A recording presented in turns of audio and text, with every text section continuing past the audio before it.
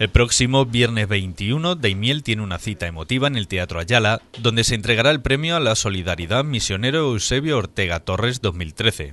Este año recae de forma póstuma a la voluntaria de Cárita Maripaz González Carrato, quien resultó elegida por mayoría de votos en una reunión del Consejo Local de Cooperación celebrada el pasado 12 de diciembre. La concejal de Cooperación Internacional, María del Carmen Torija, Destacaba de Maripal la labor callada y entregada durante toda su vida al trabajo por los desfavorecidos de manera humilde y sencilla. Como concejala de cooperación, informar que el próximo día 21, viernes, a las 20 horas, a las 8 de la tarde, en el Teatro Ayala se presentará el premio a la solidaridad 2013 misionero Eusebio Ortega Torres.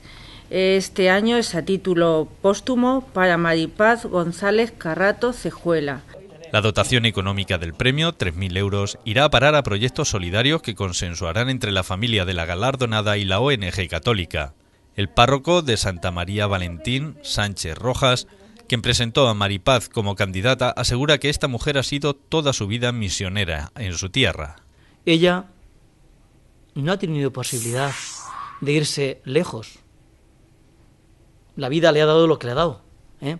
A lo mejor otros tenemos más posibilidades para marcharnos fuera a otras tierras y no lo hemos hecho. Pero ella, Maripaz, ha sido pues misionera y ha sido solidaria y ha sido mm, colaboradora ¿eh? en todo aquí en, en, nuestro pueblo. Creo que sencillamente pues Daimiel mm, pues qué mejor que poder festejar a una de sus hijas, la familia y los amigos de Maripaz también están preparando este emotivo acto para que todos sus vecinos tengan un gran recuerdo de quien dio la mayor parte de su vida por ellos. Desde la familia eh, simplemente queríamos agradecer al Consejo de Cooperación eh, a través de, en este caso, de Caritas, que quien fue quien eh, propuso a Maripaz para, para este, este reconocimiento, esta labor. Como digo, queríamos agradecer que se hayan acordado de ella. Los 3.000 euros del premio se destinarán a la compra de un generador eléctrico para un hospital rural de Mozambique, tal y como hubiera deseado Maripaz.